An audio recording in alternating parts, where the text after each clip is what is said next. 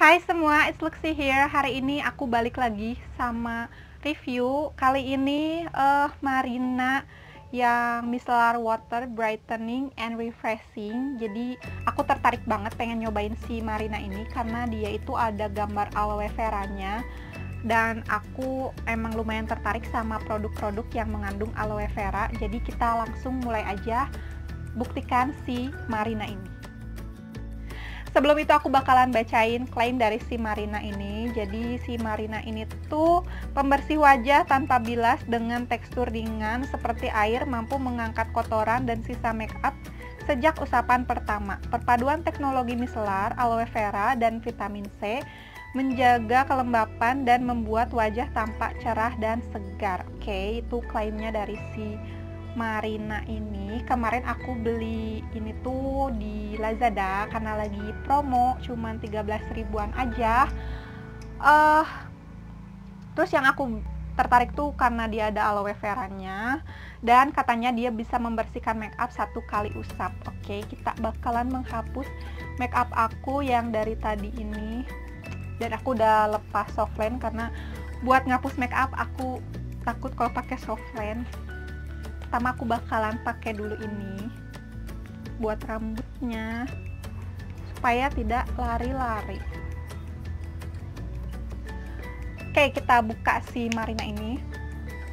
Dia wanginya tuh kayak apa ya seger-seger bunga gitu lah bunga campur buah kayak parfum anak-anak gitu baunya tapi nggak terlalu kenceng. Aku nggak tahu dia ada alkoholnya atau enggak hmm, kayaknya nggak ada deh. Dia nggak ada alkoholnya. Jadi aman buat kalian yang nggak terlalu suka produk yang ada alkoholnya. Oh iya plus dia juga udah ada halalnya gitu guys. Jadi bagus banget. Oke kita bakalan tuangin ke kapas. Ya iyalah ke kapas. Masa ke anduk guys ini aku udah tuangin aku bakalan bersihin dulu sebelah muka aku. Katanya benar satu kali usap kita mulai.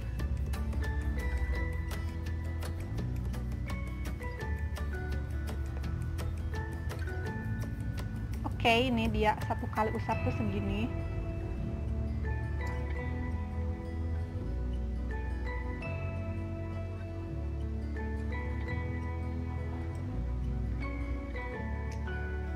ini aku udah pakai si marinanya. Terus aku bakalan cobain ini buat lipstick aku. Ini tuh lipsticknya yang waterproof gitu ya guys. Oke dia lumayan keangkat.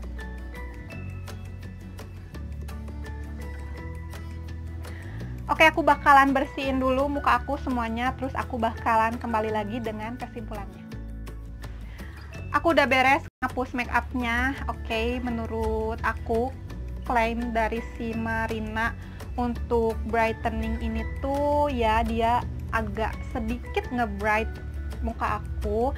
Jadi biasanya kalau misalnya waternya itu nggak ada efek brighteningnya pas kalian ngapus makeup tuh kalian bakalan ngerasa kusem gitu tapi ini enggak terus efek refreshingnya ya dia kayak pas dipakai tuh lumayan dingin-dingin gitu segar Terus efek melembabkannya dia ada banget ya, tapi untuk daya membersihkannya dia tuh kayaknya cocoknya cuman buat make up daily aja. Jadi bukan make up berat kayak aku tadi yang pakai foundation apa segala macem dan buat eyeliner dan maskara yang waterproof dia nggak terlalu ngangkat. Ini masih ada sisa-sisanya.